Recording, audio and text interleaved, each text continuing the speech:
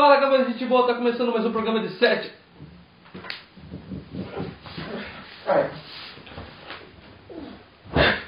Tá começando mais um programa Tá Não Vale.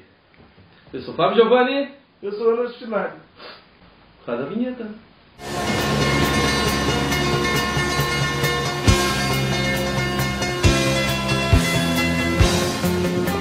Primeira notícia! Homem remove tatuagens, mas volta atrás e tatua todo o corpo novamente. Pouco tempo depois de passar por um doloroso processo de limpeza de todas as tatuagens que possuía, um homem de 58 anos não gostou de sua nova aparência e resolveu cobrir novamente todo o seu corpo com novas tatuas. Para isso, Kate Gordon, que vive nas Filipinas, gastou cerca de 57 mil reais em alguns anos. Ele fez um enxerto de pele para se livrar das marcas porque tinha vontade de conseguir um emprego em um escritório. A nova aparência não agradou nem sua mulher, nem seus filhos, que gostavam mais dele quando estava sem tatuagens. Confira a foto dele. Próxima notícia. Homem faz corte de cabelo bizarro para conquistar a amada e leva um fora. Wu Lei mora em Taiwan, tem 54 anos e queria conquistar uma mulher de 23.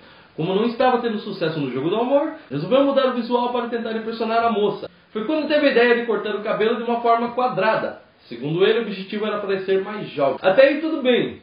O problema é que a jovem não curtiu o novo visual, muito pelo contrário. Ela afirma que o penteado de lei o deixou ainda pior e agora com o visual de boneco Lego, de personagem de jogo Warcraft. O homem bem que tentou justificar o penteado e agora parece estar tirando para todos os lados, já que seu principal alvo o esnobou. Segundo sua palavra, eu adotei um penteado porque queria parecer um cara com seus 20 ou 30 anos. Queria atrair a garota que lhe rejeitou. Ou na verdade, qualquer garota que lhe desse bola. E se engana que quem acha que manter o visual Lego é barato. Ele precisa usar até duas latas de gel a cada vez que refaz o visual. São duas horas de produção até o cabelo ficar quadrado. Além disso, só pode pentear o cabelo a cada 15 dias para se livrar dos pelos mortos.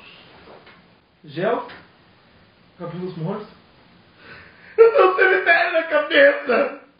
Próxima notícia! Pegadinha com tiro falso acaba em tiroteio. O que você faria se um carro passasse ao teu lado atirando no meio da noite? A resposta que idealizadores dessa pegadinha provavelmente pensaram ser a mais óbvia era correr e se esconder. Mas nem sempre as coisas saem como o esperado. O vídeo, que acumulou milhões de visualizações em menos de 24 horas, mostra a brincadeira idealizada por Roman Atur, que dirige o veículo produzindo sons de tiros realistas. Tudo segue como planejado, até que uma das vítimas da peça revida os falsos tiros com um revólver, mostrando como se coloca alguém para correr de verdade. Por sorte, ao que tudo indica, ninguém se feriu. No entanto, a perigosa brincadeira recebeu uma avalanche de críticas dos internautas que acreditam que as coisas podiam ter ido longe demais. Estúpido, estúpido, estúpido. Você vai provocar a morte de alguém. E para quê? Fama medíocre? Diz um espectador revoltado. A gente também, a gente também recebe crítica. A gente não tem fama medíocre, não. Quase nem temos fama. Causa vida, senão você não é gozada, né? Ladrão que no choro após plano não dar certo. Ladrão armado invadiu um hotel da rede Days Inn, perto da Atlanta. É, e conseguiu limpar a caixa registradora do estabelecimento. Um punhado de dólares não era o bastante, ele queria mais. Porém, quando o gerente disse que não tinha acesso ao cofre e às câmeras de segurança, o criminoso se desesperou. Frustrado, ele deixou o hotel chorando aos prantos, conforme a notícia da emissora What. Ô, o cara tava armado e saiu chorando. Ele podia estar sustentando uma família. Ele podia estar trabalhando honestamente. Imagina, cara, no Brasil isso. Da onde? Meu, isso é, isso é errado. Cara, é triste, cara. Próxima notícia! O Brasil após o vexame na Copa. A goleada sofrida pelo Brasil para a Alemanha por 7 a 1 nesta terça-feira no Mineirão fez algumas partes do país viverem surtos de violência. BH, no Mineirão. Alemão e humorista da Globo agredidos. Dentro do Mineirão, a reportagem do Wall Sports presenciou quatro pessoas sendo expulsas do estádio. Um por destruir uma lixeira, um por tentar agredir um idoso e outros dois por brigas.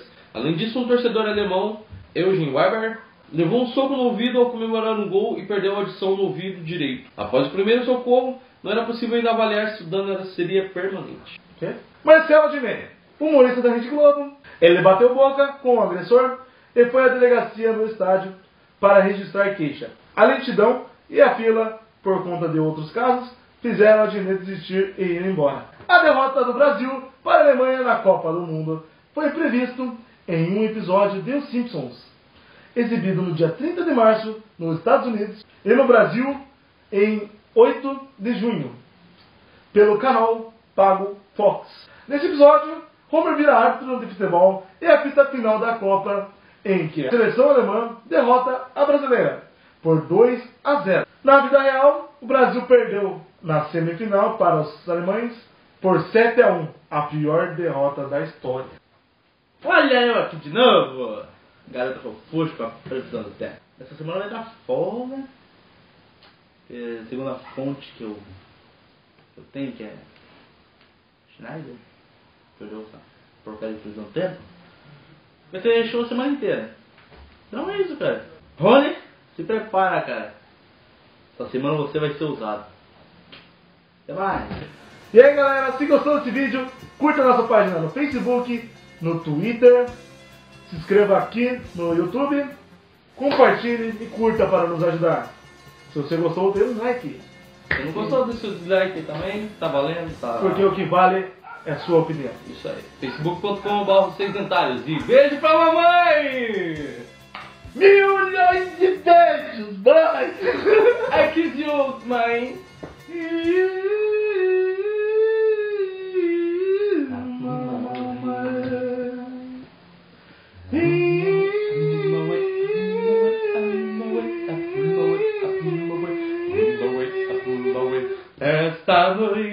Aqui na selva quem dorme é o leão.